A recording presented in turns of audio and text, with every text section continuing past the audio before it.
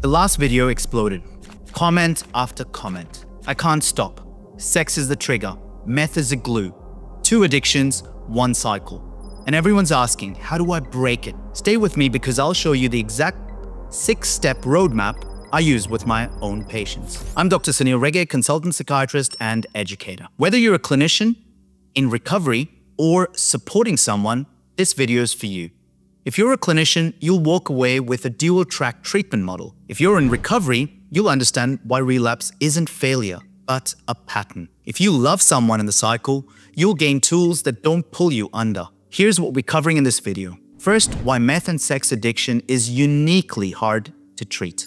Two, the brain circuits involved. Three, medications that actually help. Four, how to restore intimacy without shame.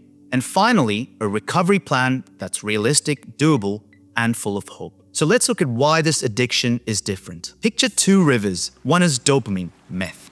The other is oxytocin and intimacy, sex. Separately, powerful. Together, a flood that rewires everything.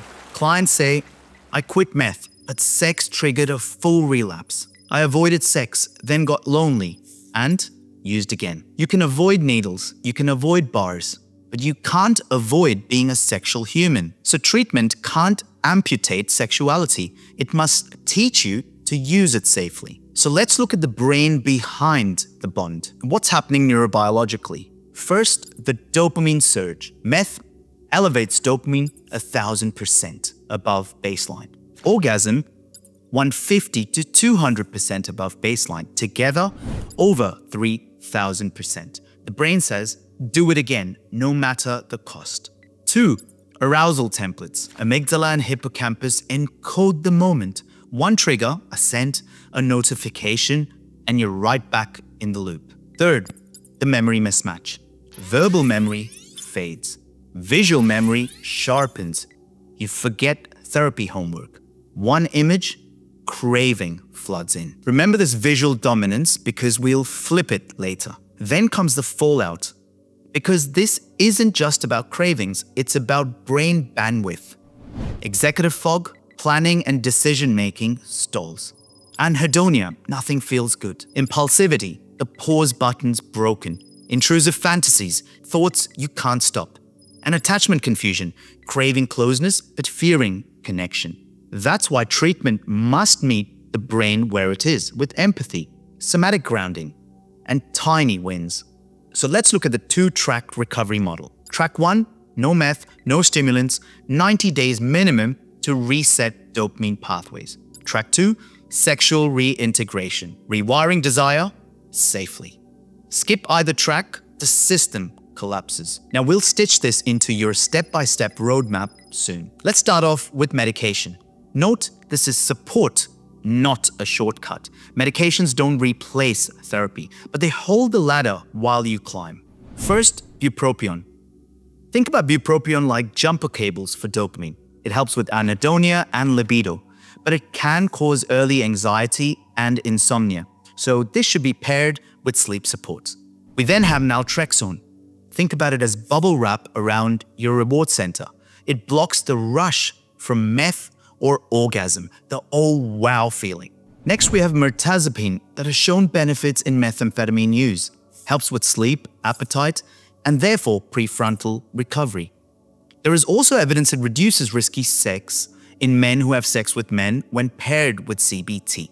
But watch for grogginess and plan mornings accordingly. We then have armodafinil and modafinil, great for lingering brain fog and difficulty staying awake but use only when stable because it can worsen anxiety if used too early. And here is a combo highlight that's shown benefits in research. Bupropion plus naltrexone halved relapse in a 2021 NEJM study on men having sex with men using meth. But what do we avoid with medications? High-dose SSRIs that crush libido or result in emotional blunting and cognitive fog. Psychedelics in early recovery may be too volatile, so exercise caution. Next, we look at stabilization. The first four weeks is crisis containment. Here, focus on sleep, at least seven and a half hours fixed wake sleep time. Nutrition, protein, omega-3 fatty acids, hydration, workup, ECG, LFTs, HIV screen, and psychiatric screening, depression, post-traumatic stress disorder, anxiety, sleep disorders, because each one of these makes the brain more vulnerable to relapse. Environment, remove triggers, check housing safety. Support, daily check-ins, phone detox. These aren't optional, they're the floor recovery stands on. Then we come to therapy and belonging, because we know no one recovers alone. Here, we have options such as the matrix model, structured CBT for stimulants, which is a gold standard, and you pair that with urine drug screen. Two, motivational interviewing plus CBT light, adaptable, modular, and effective. Third, groups, 12-step programs, because connection heals. And then trauma work, only one stable, EMDR, trauma-focused CBT, somatic approaches. Fifth, sexual boundary mapping. And here's the key, programs that combine sex plus stimulant work. They double retention. From here, we can move towards rewiring sexuality. Rebuilding desire and intimacy starts by pausing it. Here, we go through three phases. Phase one, zero to 60 days. This consists of abstinence, only self-touch and masturbation if it's not dissociative, breath and pelvic floor work. Phase 2, 2 to 6 months. Gradual exposure to cues, touch, scent, visual exposure. Sensate focus strategies. Erotic, audio, and reading versus viewing porn. Phase 3, 6 plus months. Partnered sex, slow, mindful, and feedback-based. Reframe fantasies. Return to dating apps only with 3 plus months of stability. This is the template hack where arousal meets intention. Now, what do therapists need to know? This is something for clinicians. Ditch moral judgment because curiosity connects. Validate shame, saying, that took a lot of courage to say. Supervise countertransference.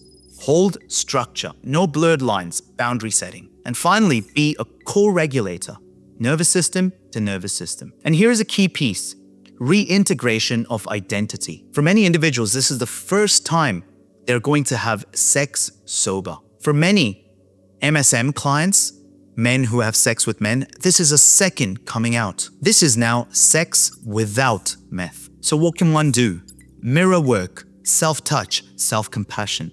Practice micro-intimacies, eye contact, shared breath, and rebuild belief because pleasure doesn't require chaos. And finally, the six-step recovery roadmap. First, take a break from sex. Let your receptors reset. Two, kill the cues. Delete apps, toss the gear.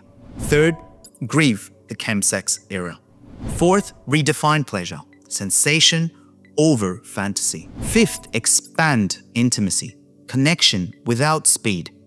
Sixth, avoid black or white thinking. Relapse, find the broken step, rebuild, and climb again. Remember, you are not your last relapse. You are not your worst day. You're a neuroplastic organism wired to recover. If this video changed your perspective, hit the like button and subscribe to the channel for future videos. Share this with someone who might be trapped in the cycle. Drop a comment if this is something you're experiencing or as a clinician working with someone in recovery.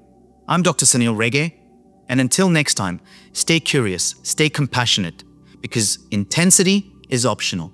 Intimacy is sustainable. Bye-bye.